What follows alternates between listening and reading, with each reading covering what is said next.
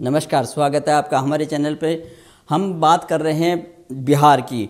जिस बिहार में जो अभी वर्तमान में जो चुनाव हुए हैं और आज उनका स्पीकर चुना गया, लेकिन स्पीकर चुनने से पहले लालू प्रसाद यादव, जो आरजेडी के जो अध्यक्ष हैं और वो आप आजकल जेल में बंद हैं। लेकिन जेल में बंद होने के बावजूद वो किस तरह से जनता दल यू के विधायक ललन पासवान को किस तरह से फ़ोन कर रहे हैं जेल से कि तुम जो है आज एबसेंट रहना बोला मुझे कोरोना हो गया था और आ, और इसमें हमारी जीत हो जाएगी और स्पीकर हमारा चुना चुना जाएगा। हमारे साथ जुड़ रहे हैं राजनीतिक विश्लेषक पवन त्यागी जी। सर आपका बहुत बहुत स्वागत है हमारे। सर किस तरह से लेते हैं आप?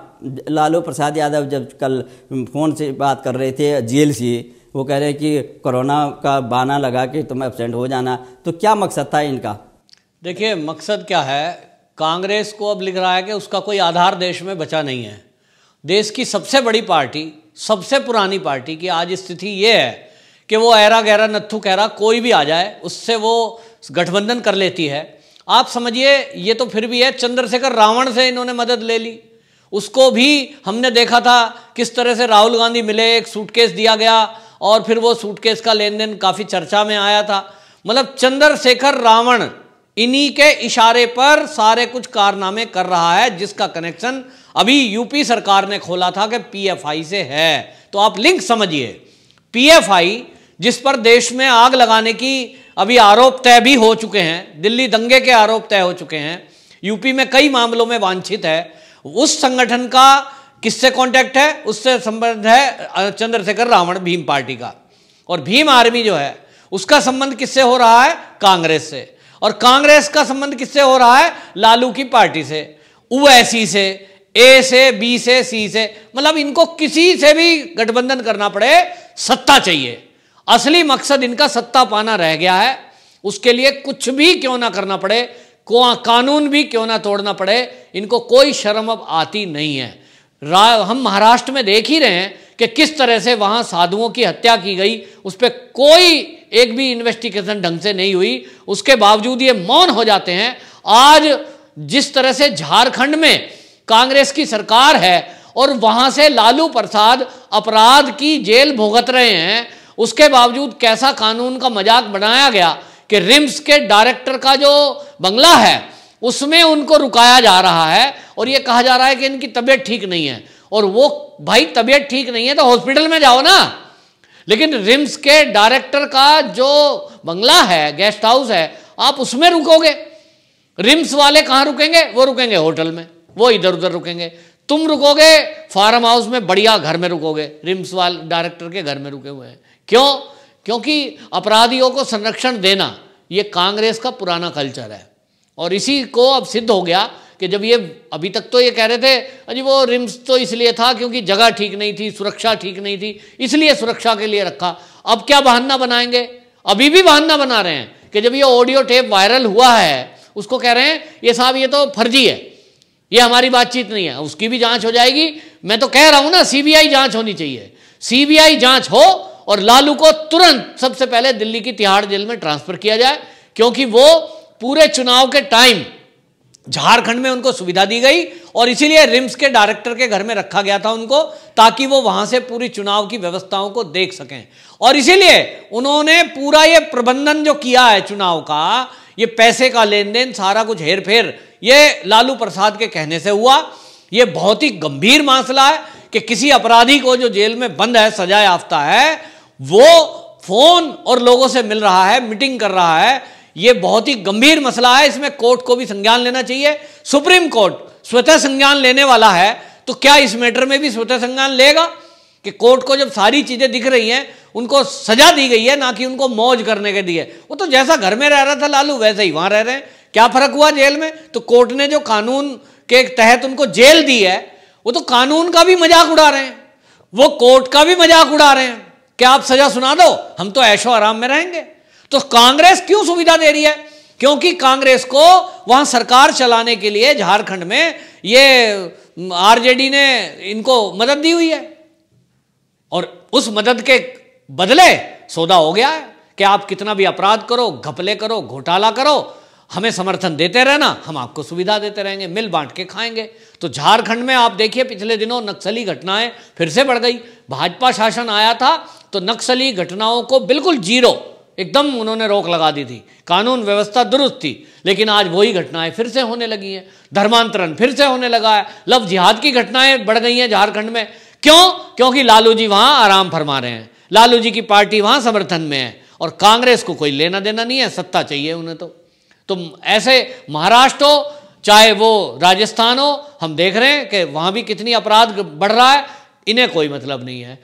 तो ये जो है, लालू प्रसाद का फ़ोन पर बात करना ये तो एक गंभीर अपराध है कि आप चुनी हुई सरकार का, विधानसभा स्पीकर का चुनाव हो रहा है और आप किसी को लालच दे रहे हो कि मैं तुझे मंत्री बना दूँगा। ये तो एक व्यक्ति है जिसने फ़ोन टेप कर दिया और मैं आपको आज बता रहा हूँ चुनाव के नतीजों में। बहुत सारे ऐसे लोग हैं जिन्होंने आज छुट्टी की एप्लीकेशन बीमारी का बहाना बनाकर दी है चुनाव में, क्योंकि इसमें भीप जारी हुआ था कि सबको उपस्थित रहना है। लेकिन मेडिकल बेस पे छूट है लोगों को। कि आप कह सकते हो साहब? मैं तो उठ ही नहीं सकता। जैसा कि लालू जी बहाना बनाने को कह रहे थे। तो ये जेडीयू को और बीजेपी को भी ऐसे लोगों की जाँच करनी चाहिए जो आज चुनाव के टाइम पे एबसेंट रहे। और ये पता करना चाहिए कि कहीं लालू प्रसाद का फ़ोन उन लोगों के पास तो नहीं गया था। कहीं कोई मोटी कीमत तो नहीं दी गई थी इस एबसेंट रहने की। क्योंकि अब ये खुलासा हुआ है कि किस तरह से कांग्रेस और उसकी सहयोगी पार्टियाँ आदमी को लालच देती हैं, पैसे का ही नहीं, पद का भी देती हैं। ये आज खुलासा हुआ है और ये बहुत भयंकर खुलासा है। जहाँ तक आपने ओवैसी की पार्टी की बात की है। ओवैसी की पार्टी का विधायक अगर ये कहे कि मुझे हिंदुस्तान नहीं कहना है, क्यों भाई? जब ये सैंतालीस में देश आज़ाद हो रहा था, अंग्रेज़ों को भगाया जा रहा था, तब कुछ मुसलमानों ने इसका मेहनताना मांगा कि हमें तो आज़ादी की लड़ाई में हमने काम किया, हमें अलग जगह चाहिए।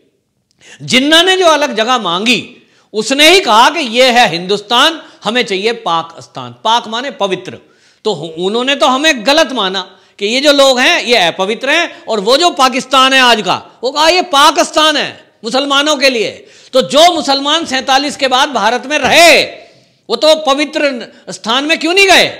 अपवित्र स्थान में क्यों रह रहे हैं?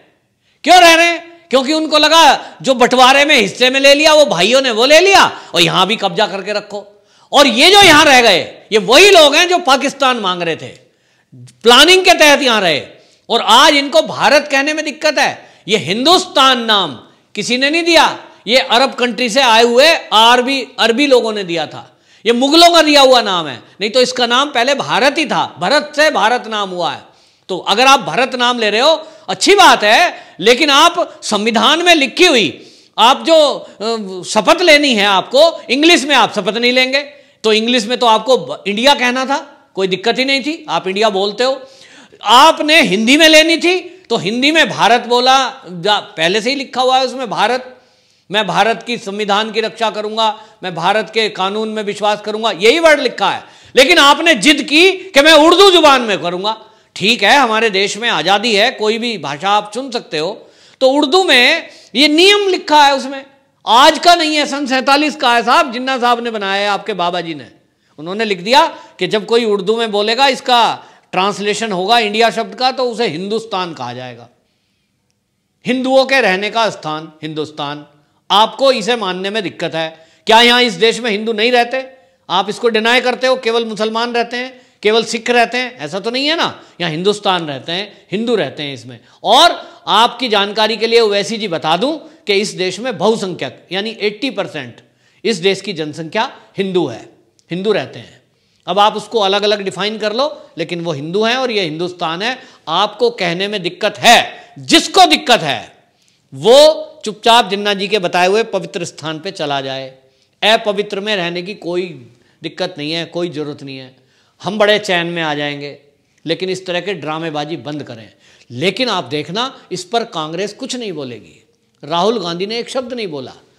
जरा सोनिया गांधी ट्वीट करती, तुम्हारे सहयोग से चुनाव लड़े थे कि भाई ऐसी बदतमीजी वाली भाषा क्यों बोल रहे हो? आपको क्या दिक्कत है? लेकिन नहीं बोलेंगे, क्योंकि इनको यही सूट करता है। कि ये धर्म के नाम पर उन्माद फैलाना चाहते हैं, ये यहाँ हिंदू मुस्लिम राइट कराना चाहते हैं, ये हिंदू मुस्लिम में बवाल कराना चाहते हैं, और इसलिए विवाद पैदा करना इनकी फितरत है। और कांग्रेस ये अपराधियों का संरक्षण कर रही है, इस तरह के लोगों का संरक्षण कर रही है। ये कांग्रेस को जवाब देना चाहिए, सोनिया गांधी, राहुल गांधी, कि आप जवाब दीजिए कि आप इस तरह के लोगों के साथ हो, साथ तो हो मिलकर चुनाव लड़ रहे हो, और मुझे लगता है आगे आने वाला हर चुनाव ओवैसी के साथ लड़ेंगे। क्योंकि ओवैसी इन्हें सूट करता है। क्योंकि धर्म की राजनीति वो करता है और धर्म की राजनीति कांग्रेस करती है। कहने को सेकुलर बनते हैं और ये सांप्रदायिक बताते हैं भाजपा को। लेकिन भाजपा एक आज ऐसी पार्टी है जो कहती है सबका साथ, सबका विकास। कांग्रेस कहती अपने को सेकुलर है, लेकिन केवल और केवल एक विशेष धर्म को वो लाभ पहुंचाती है। पिछले सत्तर साल में उन्हीं को तुष्टिकरण किया इसने। हिंदुओं को हमेशा दबाया। ये बहुत ही गलत है और अपमानजनक है। इसका बदला सरकार, ये जनता आगे आने वाले चुनाव में इनको सबक सिखाएगी। आपने सरल शब्दों में हमारे दर्शकों को बताया। बहुत बहुत धन्यवाद आपका।